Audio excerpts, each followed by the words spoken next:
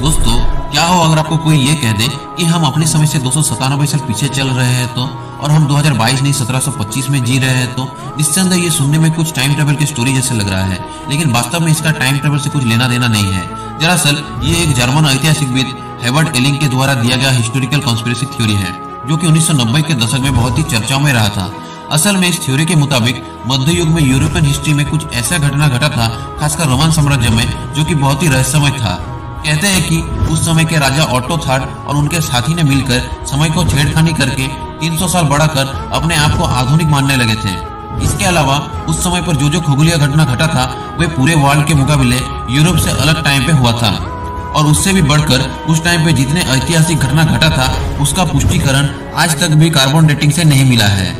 इन सब तथ्यों को देखकर क्या आपको ये नहीं लगता कि ये थ्योरी सच है? कमेंट में ज़रूर बताएँ। और वीडियो अच्छा लगा है तो चैनल को सब्सक्राइब करें।